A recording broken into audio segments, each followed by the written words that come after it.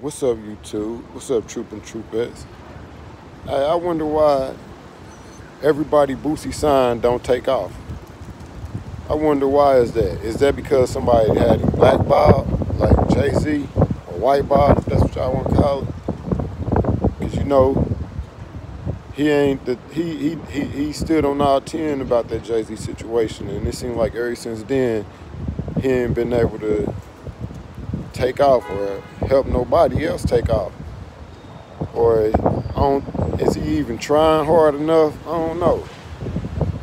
It just seemed like everybody that go Boosie way don't don't blow up, don't do nothing. You know what I'm saying? It's like kind of crazy.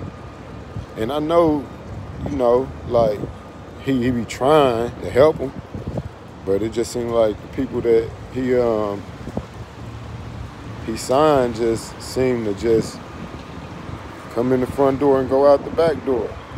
It's like no push, you know what I'm saying? Or don't nobody want to involve themselves with him or something. That's kind of crazy, y'all. Like, y'all don't think about that stuff. Like, and I know he'd be like, damn, like, because he has some great artists, you know what I'm saying? And it's just like, things don't don't go the way they need to go or supposed to go.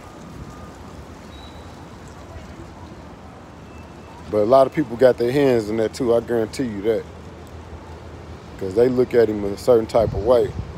But it's all good though. Somebody he gonna sign somebody, then they gonna shake off. Y'all stay prayed up out there and stay dangerous at the same damn time. Y'all know what it is. It's true. No map.